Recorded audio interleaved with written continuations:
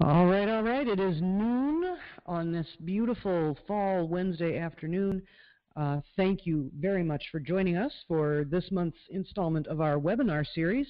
Today we're going to be talking about talking about cannabis uh, with your kids. It's back to school time. We're looking ahead to a vote on uh, legalized adult use here in Maine, and this is a topic that is on many of our minds as we uh, get ready for both of those things. Before we begin, just a couple of housekeeping notes.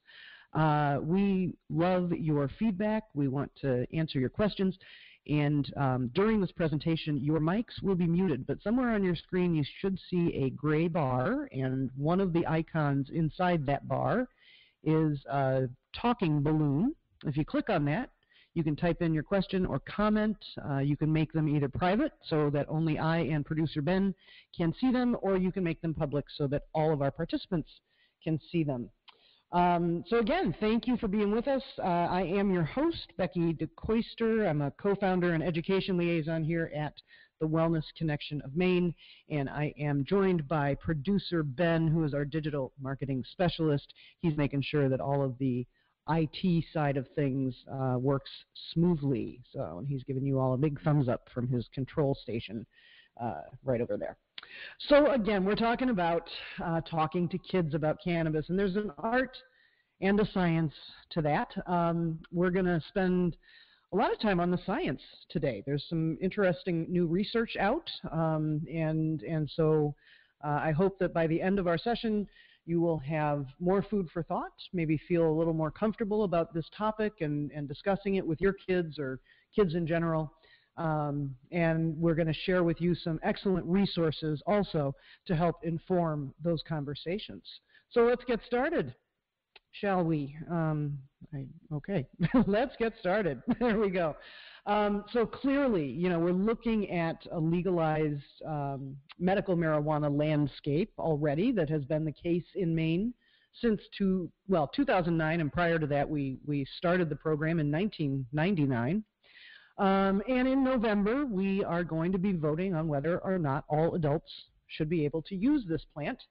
Um, and and certainly that can seem daunting. Um, if you've got kids, it can seem um, confusing, scary um, to, to have these conversations.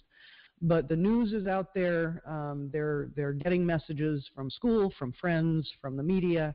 Um, and it's important that parents think about how they're going to talk to kids about this plant. Um, and two items that we would hope that folks are, are stressing is that healthy kids, and by kids I refer to pretty much anyone under the age of 21, certainly, um, why healthy kids should not use cannabis, and also why some adults choose to use this plant therapeutically, and, and yes, perhaps if it becomes legal, um, for, for recreational or social purposes. Um, so we will um, we'll, we'll dive right in here. Producer Ben uh, has been gathering some questions ahead of our presentation, and, and one of them that we want to answer or try to answer today is, you know, what does the recent data tell us about youth use of and attitudes about marijuana? Now we, we know that four states uh, and the District of Columbia have already legalized the adult use, not necessarily medical, but the adult use of cannabis.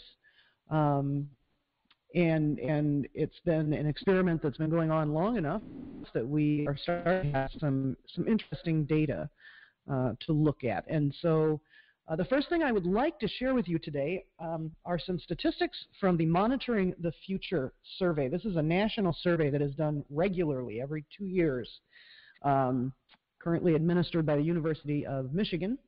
And they've been doing this survey since 1975. Um, and, and as you see here, there are some very interesting trends. So we're looking at, uh, on the left, the percentage of uh, children who have used cannabis um, on a daily basis. Now that's a, that's a, I mean there's, uh, that, that I would think that that's an outlier uh, group perhaps who are using daily. Um, and you see that the numbers are, are fairly low, and although there was a, an apparent bump in 2013, in 2015 the numbers um, are seeming to, to go down or stay about the same. There are not huge statistically significant changes in these rates of use. And this is a national survey, again. Um, and, and the numbers, you know, the, the 13 and the 15 numbers are results after four states and the District of Columbia have legalized. Um, on the right, we see the percentage of, of these students who are seeing great risk in using cannabis regularly for anyone, a child, an adult, etc. Those numbers are, are declining. Um, so even as there have been uh, some ups and downs and some minor fluctuations in the actual use rates for teens, the perception of risk is going down, and that can scare folks. Um, it seems that you know if, if they think it's not risky, they might gravitate towards it more. They might see it as a as a safer option than alcohol, um, and and that underscores the the importance of understanding the real risks of using any substance, certainly cannabis, alcohol, tobacco, um, before age 25. It's it's looking like from the research um, that there are uh, there there is a massive amount of growth in the brain up until that age. Uh, neurons are making new connections, they're strengthening existing connections, and when we tinker with those systems um, at an at an early age, it creates pathways for problematic relationships with these uh, with these substances. Um, again, the good news being that although they see less risk from using, the use patterns are staying fairly um, stable at this point. And then I also uh, included some uh, charts here, uh, how many of them disapprove of using it regularly, and these are pretty high numbers. I mean, the, you know, the scale on the left here is from 0 to 100%, and I'm going to bounce back to that previous slide, um, specifically the chart on the left, the percentage of those who are using daily, that scale only goes up to 20, right? So I mean, there's a there's a you know, if, if this were a scale that showed it all the way up to 100, the numbers of you know the, the use percentages um, would be extremely small. So so be aware of that. Um, disapproval remains fairly high for daily or regular use of this cannabis, again among um, mostly teens. You know, they, they look again at 8th, 10th, and 12th grades. They, they you know, do monitoring and checking in those grades. Um, so disapproval is trending down, but remaining pretty high. Um, availability, now this is another interesting point because, you know, as we contemplate, um, well, the fact that we've had medical here in Maine since 99, um, it's, it's more and more available medically around the states and has been for the past 20 years plus. Um, you know, there's a concern that, that medical or adult use legalization laws will make the product more available to kids. Um, and we see that these numbers, again, are trending down across the board, across the age groups. Um, and that's that's interesting. The the survey doesn't, you know, presume to answer the the why behind that trend. Um, but having you know thought about this a great deal, researched it a great deal, and, and been working in this field for as long as, as I have, um, when we legalize the plant for either medical or adult use, that legalization comes with a regulatory scheme that reinforces the idea that we don't want this stuff to get into the hands of kids. Um, you know, it, here in the medical dispensaries in Maine, we, we check IDs. It doesn't matter. In fact, this is a frustration to many of our patients. It doesn't matter if we see you, uh, you know, once a month or once a week. Um, we ask for ID and your valid certification uh, every time you walk in the door. And, and this is the sort of regulatory framework that is available to us when we um, bring an illicit substance into the light that is not available when it's only you know on the black market. So um, I don't see much of a real contradiction in, in the fact that although it is more widely available to adults medicinally or uh, recreationally, um, teen and youth perceptions of how available it is are actually declining. Um, you know, they, they, you hear it a lot. Drug dealers, black market uh, dealers do not check ID.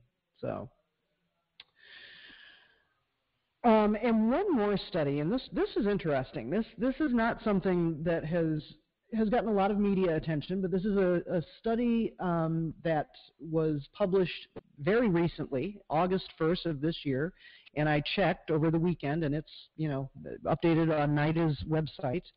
Um, this is current. Uh, the National Institute on Drug Abuse is a federal agency that, as you see by their logo here, studies the science of drug abuse and addiction. And they studied, um, you know, teens and, and assessed their cannabis use.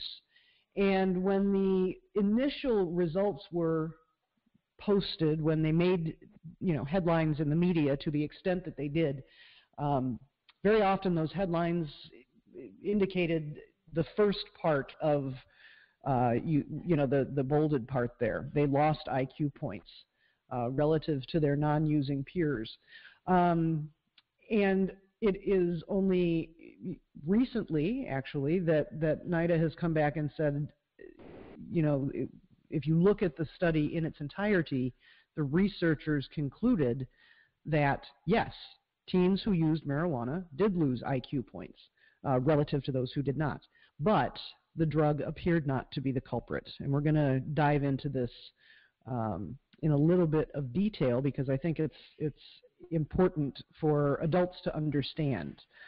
Um, you know, certainly, as I said, the, the neural pathways are still growing and forming uh, throughout the first quarter century of our lives. Um, and yet, uh, these teens who did use um, were not losing apparently due to use of cannabis, um, which makes it a little complex when you sit down and, and talk to your kids about this stuff, certainly. Um, I, digging a little deeper into this study, uh, they looked at three hypotheses. So they, they um, you know, the, there's this premise or this belief that cannabis use causes cognitive impairments, right? And, and impairments that last beyond the period of, of being under the influence of the plant. Um, so they, they, they said, okay, well, if, if there is lasting damage done by cannabis use, uh, number one, that use should happen before any of the declines start happening. Number two, those who use more should see a greater decline in cognitive ability. And, and this was very interesting, if there's a pair of twins where one uses and the other doesn't, the one who does should end up with a lower IQ than the one who does not. Um, and so these were three hypotheses. They said, okay, we're going to test these, and if they come out, you know, if they are correct, um, then we can more reasonably conclude that cannabis use causes IQ to decline. Um, moving on, they found that none of those hypotheses uh, worked out. Uh, the research that they were able to gather uh, one by one knocked each of those three hypotheses down uh, and instead indicated that both genetics and family environment and, and the, the milieu in which you are raised um, made more of a difference um, and, and put folks on a pathway, as it says, that lead both to the use of ca cannabis and to IQ decline. Um, I think that uh, you know there's a lot to to sort of unpack here in terms of uh, what our our perceptions of the plant are, and in terms of how we discuss uh, with our kids. Um, you know this this important subject. Um, I, I think that you know the the, the Just Say No uh, campaign back in the 80s uh, gets a bad rap nowadays, right? Um, and and I think there's good reason for that. Um, it's it's dismissive and it does not um, take into account kids' uh, innate intellect. Um, you know, just to say no, uh, this is your brain on drugs and, you know, the sizzling eggs in the frying pan, if you're old enough to remember those. Um, you know, is is perhaps not an accurate or effective way to deter kids from using um, the plant. Um, how we're talking to them, whether we're talking to them, and, and perhaps some other genetic uh, contributions are, are um, playing a role as well. And the, uh, the research concluded that, you know, even, even if more research, you know, underscores this finding, that, that there is no causal direct link between cannabis and, and you know, IQ uh, going down, um, it's still not a good idea for teens to use marijuana. Um, and one of the researchers is quoted, you know, right there, uh, heavy use in adolescence is not problem-free. And, and certainly with moderate to heavy use, there are, there are very significant health risks um, associated with the plant. And this goes to one of the um, really fascinating uh, realities of our endocannabinoid receptor system. And you may know that you know we have receptors for um, cannabis-like compounds throughout our bodies. Our bodies actually produce what we call endocannabinoids, which are natural analogs to some of the active compounds that the cannabis plant produces. Um, there are many, many of these receptors in our brains. It's one of the, the most dense uh, densely populated types of neurotransmitter receptor in our brains. And one area of the brain that is very rich in endocannabinoid receptors is the hypothalamus. And it's a little mechanism kind of buried deep in the brain, sits on top of the brain stem. Um, and the hypothalamus functions as a thermostat for our hormones, for controlling our, our endocrine system, and some other very important um, systems.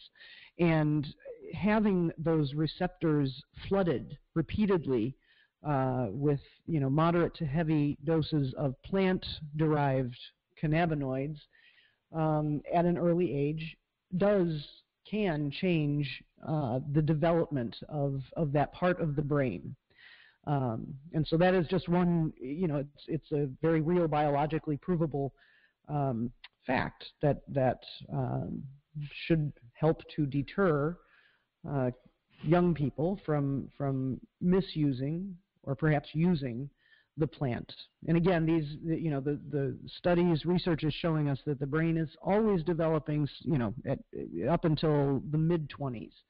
Um, so so although this study did not prove that cannabis is causing decline, um, certainly the researchers are saying, hey, this is you know this is not a get out of jail free or a, you know we're not waving the the starting flag. Um, kids definitely should still avoid marijuana and other drugs uh, that can that can shape the development of the brain. Uh, you see at the bottom, I hate that it's such a long URL, but um, there's the government website where you can access uh, this this study overview. It came out, you know, a quick way to find it might be to just type in NIDA, NIDA Notes. It came out in a um, a publication that they do that's called NIDA Notes. And if you put in Dr. Eisen's name and NIDA Notes, you'll probably get right to that um, that article. So, so some research is pointing towards, um, you know, at least a, from a chemistry and biological standpoint, um, you know, that, that almost undercuts one of the arguments against uh, youth use. You know, it's not going to make your IQ go down. Well, you still shouldn't use it. And, and we're seeing that in the early days of a legalized framework with five states and the District of Columbia, uh, despite wider access for adults, um, adolescents use rates are staying statistically within a reasonable uh, range, um, and their perception of how easy it is to access the plant is actually declining. So. Um, another question that we got in came from um, one of our uh, one of our folks who was interested in the in this webinar, and so uh, perhaps they're listening. Um, Producer Ben, can you can you talk to us a little bit about this one? Hello, everybody. All right. So I'm a parent and a certified medical cannabis patient. what should I tell my children about this? Could my status as a patient affect my parental rights? Can you tell me a little bit more about that, please? absolutely, absolutely. And we actually hear this um, frequently from our members. Um, they get they get concerned. They're they're a little you know. We've we've heard for so long that the plant is you know is illegal and a and a negative uh, negative thing. How do I even begin to broach this? And could being a patient affect my parental rights? These are very significant um, questions. And so, just some some big picture, kind of 10,000 foot view stuff.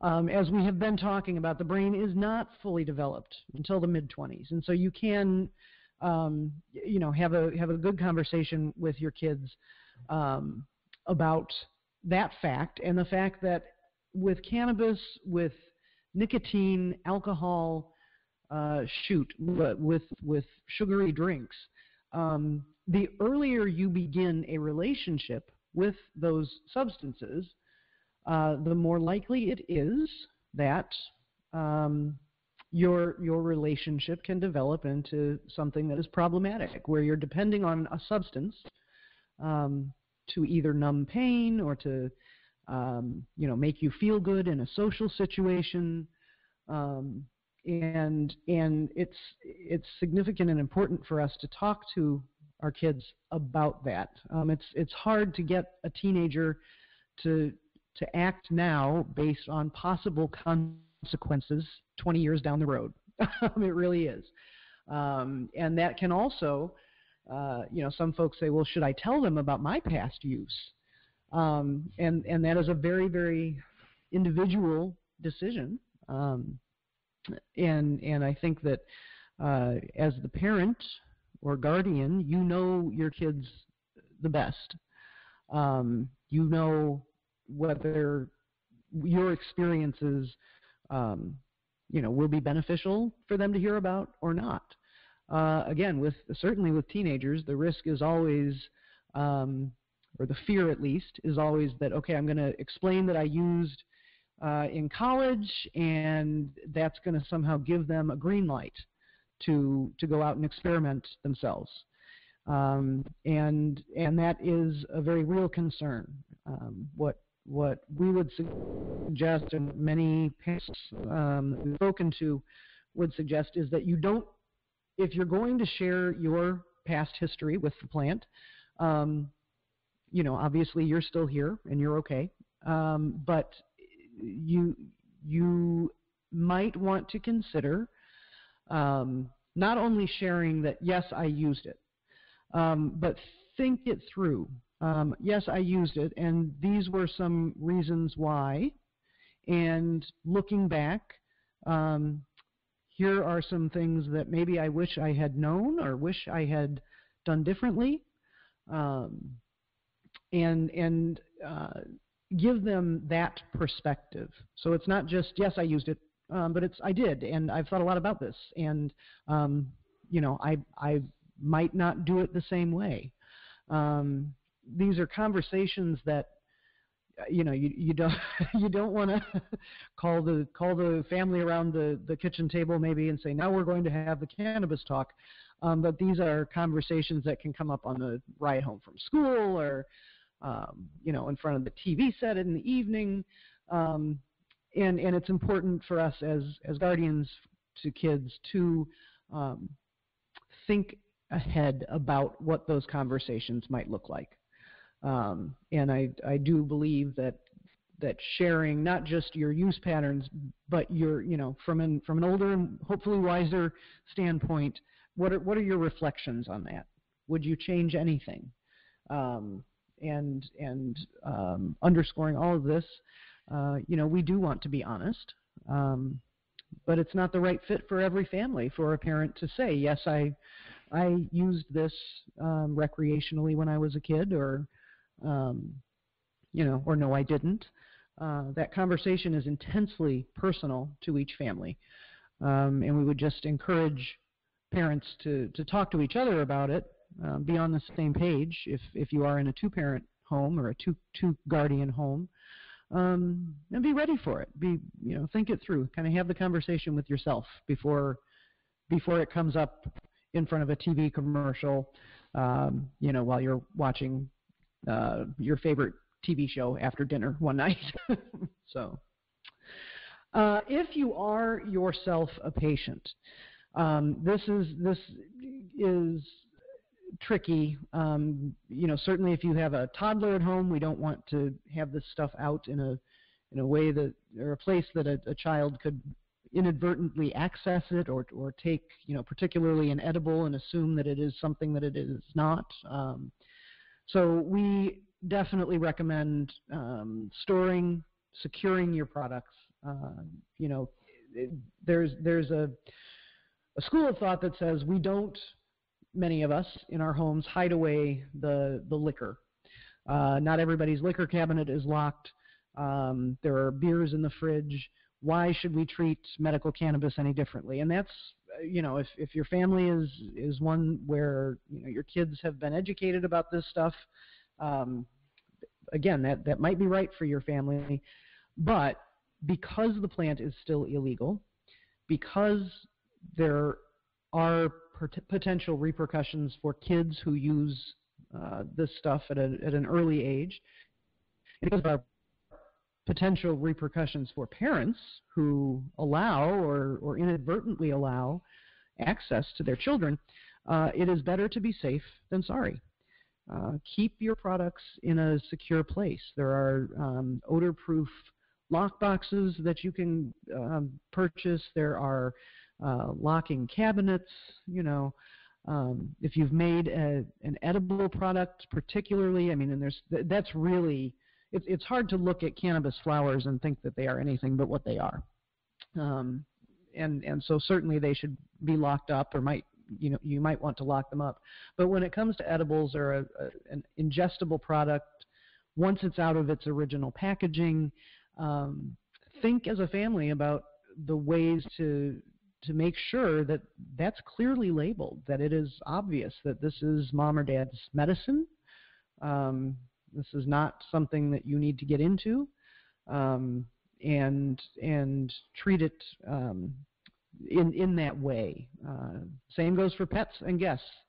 Um, we're, we're not good ambassadors as medical patients if if we are allowing folks who don't expect uh, cannabis to be in a product to get access to that product. Um, odor-proof packaging super helps. there's there's some really uh, innovative um, security products out there uh, that you can use. Um, people also ask, what you know, what about using in front of my children? I, I suffer from um, chronic pain, and I need you know to to maintain a certain endocannabinoid level and um, be be medicated. Um, just to get through my day, to be able to get in the car and pick them up from school. Um, again, that's that is a, an, an intensely personal decision. I think that most of the resources that we have looked at, and, and honestly, most of the parents that we have spoken with, um, do not consume in front of their kids. And and for some of them, that means they have to go outside in the winter and, and bear with the cold. Um, things like that. But but I think that in general the consensus is that using in front of somebody who is underage is not appropriate. Um, again, that that is intensely personal, and your your personal condition and and the level of your um, communication with your kids is going to have a great deal of a, a role to play in that. Um, but there there are uh, external repercussions still, even though medical cannabis is legal. Um, adults who use it and who allow children to get access to it uh, face some, some significant legal repercussions if the wrong people uh, see that or if, if people know that and take it the wrong way. If you're in a custody battle, um, it, it seems that it might just be better to be safe than sorry when it comes to um, using your medicine in a home where there are also children. Uh, another item, you want to always know how much you have and keep track of it. Um, they're, they're crafty, they're smart, they're curious, these kids, and um, you know, they it, it, again better to be safe than sorry. Um, and and if we're having these conversations, good to let your children know, hey, I am tracking how much I use. I am responsible, and I know how much of my tincture should still be in that bottle. Um, and and you know, just putting that on the table may help prevent some some uh, youthful exploration that we would hope to deter or prevent. And finally, talking early and talking often. Everybody agrees on this. Um, that you know, having these conversations, making this a part of you know, just one of the things that our family talks about. We talk about the election. We talk about what's going on in Syria. We talk about cannabis, um, and and um, you know, having those conversations before kids are at an age where they're more likely perhaps to experiment uh, is a good idea. There are going to be some resources that we're going to point out at the end of this uh, webinar that can help you get those conversations started. And as one um, substance abuse specialist I spoke with made sure to, to underscore to me, um, she said, you know, it's never too late to start. If you haven't been having this conversation with your kids and they're, you know, 10, 11, 12, it's not too late. Um, it's better to to be there to communicate um, about even these difficult issues than to ignore it uh, or pretend that it doesn't exist. Um, you know, sometimes your kid will bring these things up. Hey, my friend Jeremy's dad uh, uses marijuana as a medicine. You know, so so it might start with the kids. If it doesn't, again, it's not too late, and and we'll have some really good resources uh, at the end of this session. It's important to to arm yourself with with some facts, with you know some some other people's experiences uh, before you go into this. It's nice to feel that you you know you've thought it through and you have a whatever your stance is that you have a pretty solid grounding. Um, and if you don't know, or if there are things that you don't know, or issues that you don't have a clear opinion on and your child brings it up, it's also important to say, "Hey, I'm not infallible, but let's find out, uh, you know, together. Let's let's look into this together." There are age-appropriate um, information sources that can be extremely helpful. And then there's the legal, especially the custody um, situations that come up. And again, marijuana for med- medicinal purposes has been legal in Maine since 1999, and yet uh, state agencies, certainly Child Protective Services, um, doesn't have the same view that some of us do of, of medical use, or maybe they don't see the that there's a bright line between medical and and adult use, or adult use and uh, you know excessive use. Uh, one way or another, uh, CPS does respond to reports of child abuse or neglect. And cannabis use in the home um, is one uh, sign of that. So a neighbor can call in and say, you know, I, I believe that they are using cannabis or growing cannabis and they have children in the home. Uh, CPS can do home inspections to determine whether to involve the courts. Now, um, I'm aware of a few cases in Maine that, that have involved this sort of thing. Um, there is there are it's certainly happening in other states. Um, you know, in Kansas and Colorado, uh, where people have lost custody of their ch- children for, for, what is medicinal use and me- medicinal possession of, of marijuana in the home. So it's important to be aware of that. Um, if the situation if they consider the situation dire enough, they can temporarily remove your children and they can require things like drug counseling, um, you know, drug testing in some cases, uh, before you get your children back. And can't stress this enough uh, a spouse or a former partner can use your medical cannabis use against you in a custody dispute. I'm not saying it's right or that they should be able to, um, but we, we know that human relationships sometimes go bad and, and that custody battles can be um, brutal, I, I think is the word. And there are cases of exactly this happening. A breakup occurs, and for revenge, um, you know, the ex-partner calls in the the home garden, um, or in in some cases will use that as a as leverage in a custody battle. There was one case here in Maine uh, last year where um, a spouse was able to win, win full custody. Pardon me. where a spouse was able to win full custody uh, because of because of cannabis use and behavior in the home um, of the other parent. And you know that that story came to us via the media, so you know what what is and is not accurate. Um, you know, I, I wasn't sitting in court, but what was described were things like cannabis being left out on counters, use of cannabis in front of very small children, um, you know, single-digit aged children, um, and and it was the judge even made clear that it was not the fact that the parent in question was a medical marijuana patient, but the responsibility or lack thereof that was demonstrated um, in the home in terms of you know securing the products and using discreetly and not in front of the children. Uh, you see there a, a, logo for a national marijuana patient advocacy group called Americans for Safe Access, and they have a great um, resource. Now, now it's California focused because the group is California based, um, but there is some really good information on their website, and you see the link there. And they also are a, a fountain of information and resources. They're um, easy to get in touch with and really great about answering questions and things. So, so one of those really nice resources for medical cannabis parents. So, responsible conscientious use is is what we're talking about here. Uh, you want to know how much you have at home. You want to keep it safe from your kids.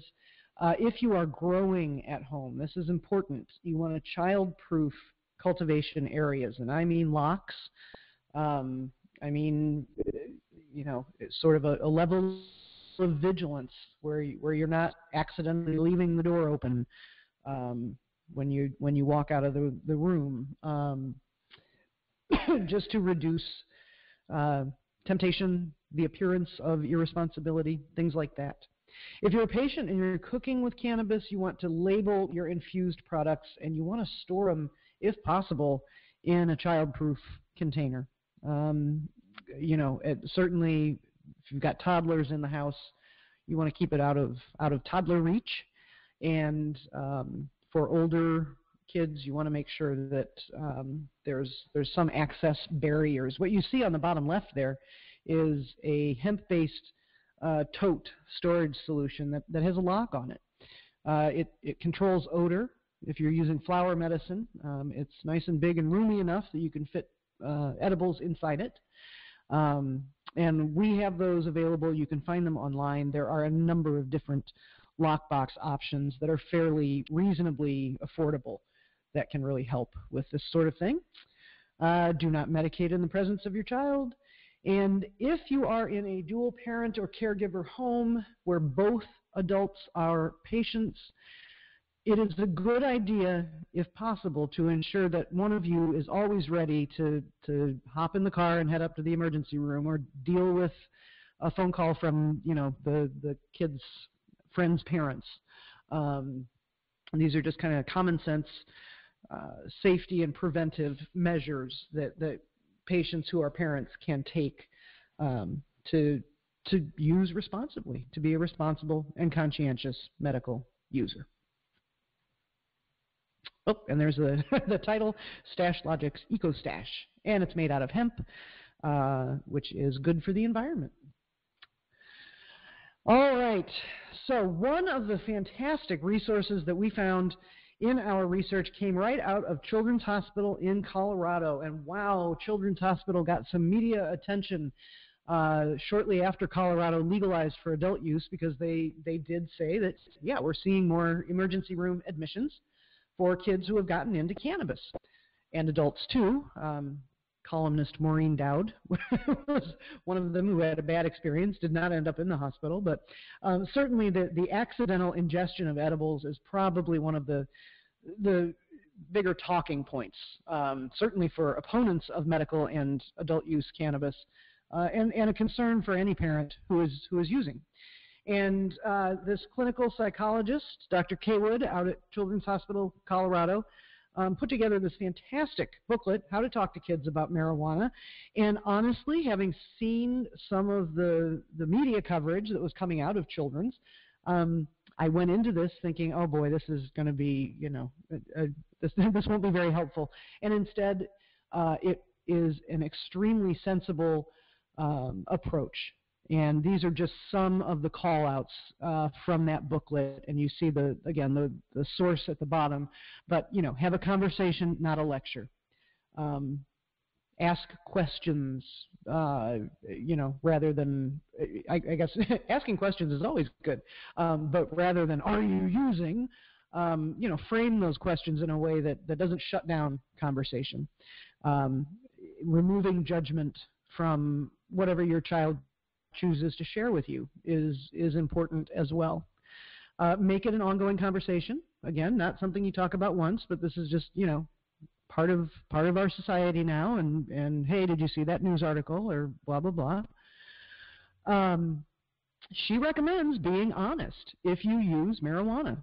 And I that was I think when I when I read that part, my my skepticism about what what this resource would be about was were were allayed um, it, she goes into detail a little bit about you know how, what that honesty looks like. Um, but you know, be honest if you're using it. This is not something to to hide, um, and it's hard to to give your kids good information about the plant if um, you feel ashamed of your own use. And she also recommends acknowledging if you have a family history of problem drug use. Now, dependence rates, and this is in adults, for uh, cannabis are about on a par with dependence rates for caffeine. About 9% of users will develop a problem, a, a dependence on the, the substance. And that means not that they are physically addicted, but that they will um, more psychologically um, gravitate towards the substance as a way to manage problems, deal with life, uh, rather than developing coping skills uh, that are substance free.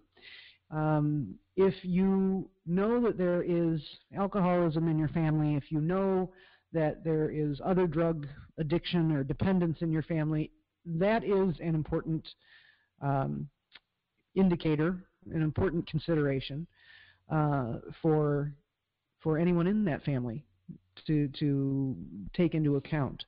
Uh, doesn't mean that you can't develop your own very responsible relationship with the plant.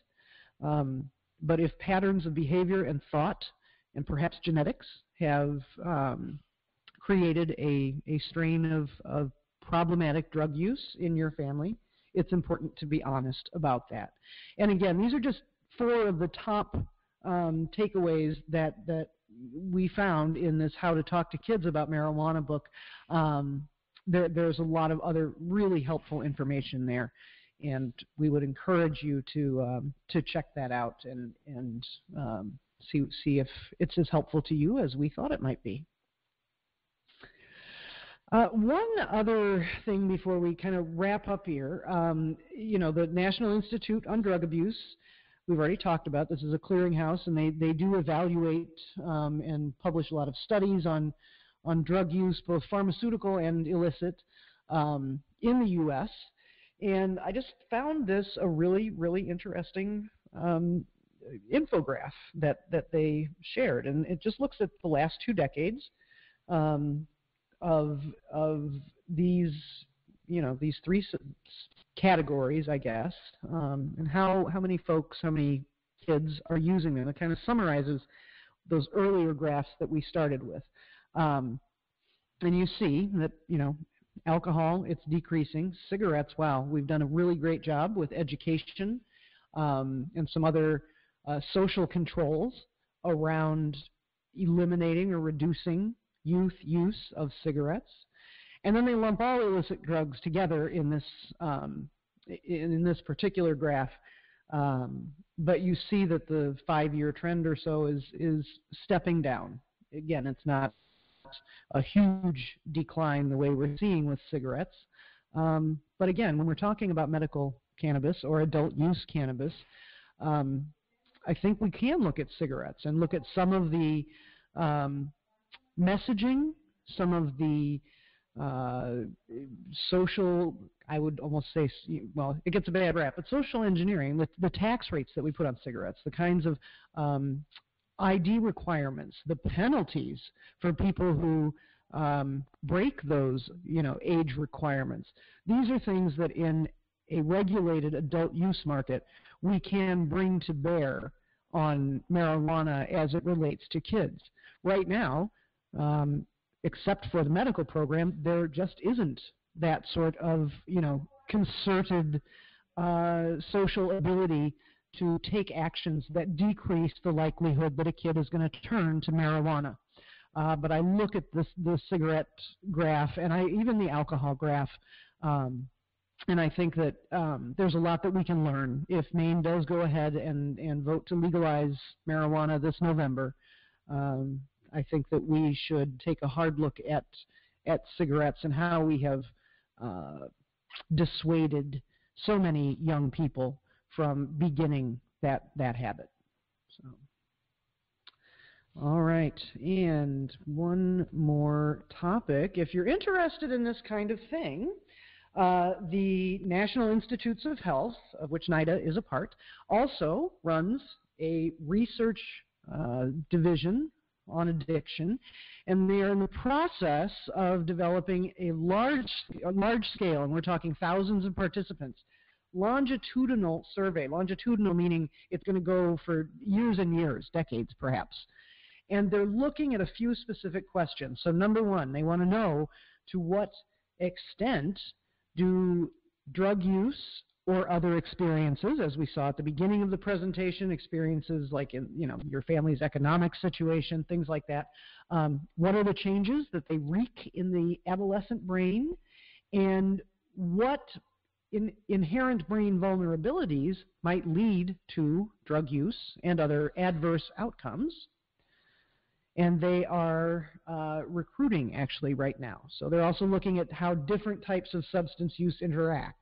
Um, for example, we know that using cannabis and alcohol together um, can be more problematic than, than even using either one of them alone. Certainly, if both are used at the same time and uh, irresponsibly or in excess because of how they interact. Um, so, uh, you know, they're going to be looking at, at these sorts of, of questions. And then what impacts do diverse patterns of substance use, for example, moderate versus heavy marijuana use, pardon me, what impacts do these uh, patterns have on brain development, academic achievement, social functioning, and other aspects of life? And um, I would say maybe what impacts, if any, do diverse patterns of substance use have? Um, but but they're they're at least looking into it. Now we know that this is a federally funded research study, and so their their uh, starting line in terms of their approach to cannabis is likely to be that it is uh, an inherently dangerous substance. Wherever we stand on on that issue, you know that's that's as may be. But the research is going on. If you are interested in learning more, or if you have kids who might be interested in becoming part of the study, you can learn more about it at abcdstudy.org. So, all right, and a couple of final thoughts. Um, NIDA, again, they also put out a fact sheet. It's instructive to read their fact sheet and then the, the flyer or the booklet from the uh, Children's Hospital in Colorado together. Um, but they do point out that whether or not it becomes legal, it's it's still not a good idea for teens. Um, and it can alter the course of a young life. Um, you know, and and that's an important uh, potential or possibility to bring up with your kids. Um, they certainly encourage having the conversation, even if it's difficult. So everybody seems to agree on that. And one other thought as I was uh, checking the, the presentation for today over the weekend and uh, making sure that we, we covered everything that I had hoped to, uh, I ran across this article on Sunday in the Bangor Daily. And the kids themselves are saying exactly kind of what, what a lot of other folks in this presentation have been saying. One-off events and anti-drug initiatives don't compare to the presence of a supportive person in a young person's life. Um, that sense that I have an adult that I can rely on who won't judge me, who won't laugh at me or shame me if I have questions about this stuff, uh, if I have friends who are starting to experiment with it. Um, that sort of stable foundation leads to smarter, happier kids. And again, that's what the kids themselves are telling us, and I think we need to listen. All right, I promised resources, and here they are as we as we round the corner and, and approach the one o'clock hour. Um, the first is from the Drug Policy Alliance, and they are another national group. Um, they have a, a fairly, um, well, their approach to drug policy is what I think my, certainly my grandmother would have called liberal. Um, they're, they're, uh, they do a lot of research, they do a lot of education, and as you see here, they have a reality-based approach to teens and drugs. Uh, Dr. Rosenbaum put this together. Um, it covers marijuana and other drugs. I mean, we know that kids are out at parties. There's this stuff is out there, um, starting in their teens, sometimes their early teens, sometimes before their teens. Um, and the Drug Policy Alliance has created this booklet um, to to kind of help parents wrap their arms around the subject uh, before or during these conversations. All of these resources are available free. Uh, so that's you know if you're if you're watching us online, you you are you know one one new uh, computer screen and a little bit of typing away from from accessing these and downloading them for yourselves. Uh, another one, the Partnership for Drug-Free Kids. Um, this is a, a, nationally funded group, and they have produced the Marijuana Talk Kit. Um, and uh, you know, quite honestly, you're going to get a slightly different perspective from from the Partnership for Drug-Free Kids than you are from the Drug Policy Alliance. But we we think it's important to to have access to and to consider all of these um, perspectives as you are um, kind of educating yourself to to have the conversations. Uh, the Monitoring the Future survey, the, the very first slides that we looked at with those, with those graphs about teen perceptions of, of cannabis, um, the whole thing is available free online. Um, what you see here is the overview document. They also break it out into, I think, three or four more volumes where they have one that's just about the eighth graders, one that's just about the 12th graders. Um, very helpful, very interesting, full of, full of charts like you've seen here, um, and, and a pretty unbiased scientific look at what is actually happening on the ground around marijuana and other drugs in terms of our teens. And then finally, I mentioned them before, Americans for Safe Access. They put out a fantastic series of guides to medical cannabis specifically. Uh, they are condition specific. This one is the overview guide. Uh, there are also specific booklets about cancer, about glaucoma, and some other um, medical cannabis or diseases for which medical cannabis can be helpful. Um, but this is good baseline information. It helps to, to just understand the mechanism of how the plant works, um, whether we're using it therapeutically or not. When we are using cannabis, it's interacting with our endocannabinoid system, and the science is moving ahead to um, give us a much better understanding of, of why and how the cannabinoids work in our bodies. And this is a fantastic free introduction. Um, you can download the booklets again right online there. If you have, um, you know, a specific qualifying condition yourself, or you know someone who has, they're a great resource for patients who are curious about medical marijuana as well. So we would recommend Um, any of these these four guides, also um, the Children's Hospital Colorado pamphlet that was mentioned earlier, uh, lots and lots of good information out there. Again, it really does boil down to knowing your family, knowing your kids, um, getting a sense for you know when is the right time and what is the right amount of information. Uh, you're not alone. There are there are lots of resources out there. If you happen to be the parent of a medical marijuana patient, there is also a group uh, called Parents for Pot. Parents, the number four pot, and you can find them on Facebook. Uh, they are very welcoming, and um, I would imagine that they would have some really good lived experience for you as the parent of a medical cannabis patient who is a child, and perhaps even for a you know a parent who is not a patient, whose child is not a patient, but just wants to get a sense of um, how other people approach this important and sometimes difficult conversation. So uh, we are finishing up. Wow, it's it, we are in really good shape. We've got a few minutes left. If any of you have any specific questions, again, there is a chat box uh, or a chat bubble that you should see in the gray bar on your screen. You can pop those questions in there. You can send them to everyone or just to uh, producer Ben and myself. And we'll give folks a second to see if there's anything. And I'm going to scroll back through these screens in case that spurs any questions for you. Um, all right. Well, Producer Ben, I'm not seeing any questions. I hope that folks have found this um, presentation helpful. We always appreciate when you're willing to take an hour out of your, your day to spend with us.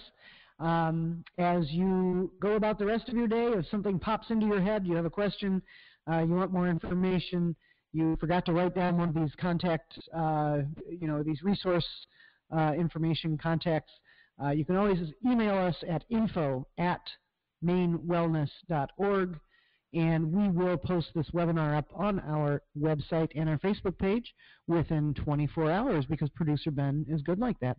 So thank you so much once again for joining us. I am your host, Becky DeKeuster, and on behalf of myself, producer Ben, and everybody at Wellness Connection, I hope you have a lovely afternoon. Thank you, and be well.